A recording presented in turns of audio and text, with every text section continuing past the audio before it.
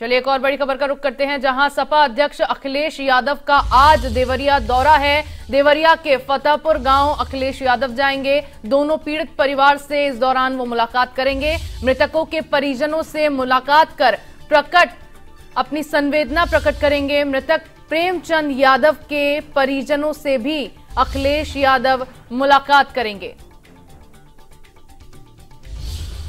और ये बड़ी खबर आपको बता रहे हैं सपा अध्यक्ष अखिलेश यादव का आज देवरिया दौरा होगा।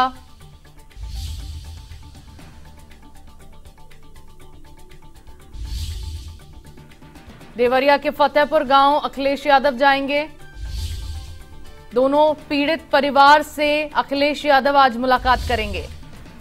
मृतकों के परिजनों से मुलाकात कर संवेदना प्रकट करेंगे। मृतक प्रेमचंद यादव के परिजनों से भी अखिलेश यादव मुलाकात करेंगे।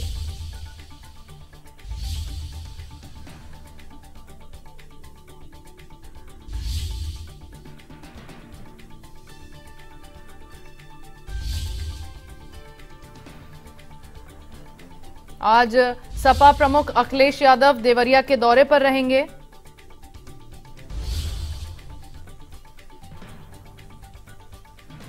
मृतक प्रेमचंद यादव के परिजनों से अखिलेश यादव आज मुलाकात करेंगे।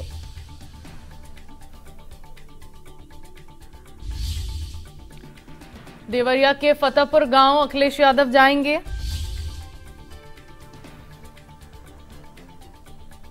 फतेहपुर गाँव में हुए सामूहिक हत्याकांड में पूर्व जिला पंचायत सदस्य प्रेम यादव और सत्य प्रकाश दुबे के घर अखिलेश यादव जाएँगे। इसके साथ ही घटनास्थल का भी अखिलेश यादव मुआयना करेंगे। अखिलेश यादव के आगमन को लेकर लगातार गाँव के चप्पे चप्पे पर सख्त पहरा लगा दिया गया है।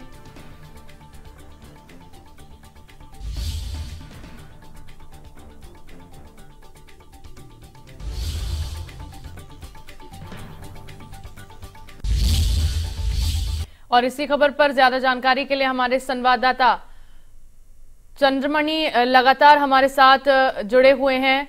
चंद्रमणि, अखिलेश यादव आज देवरिया का दौरा करने वाले हैं।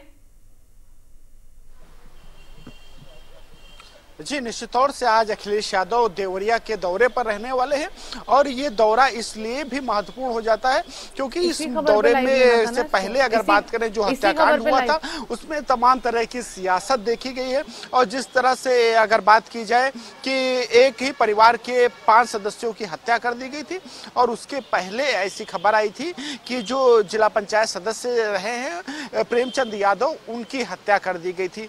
तो इस प्रकरण में आज अखिलेश यादव वहाँ पर पहुँचेंगे। और जो मृतक हैं सत्यप्रकाश दुबे उनके परिजनों से मुलाकात करेंगे। उनके बेटे देवेश दुबे से मुलाकात करेंगे। वहीं प्रेमचंद यादव के जो परिजन हैं उनसे भी मुलाकात करेंगे।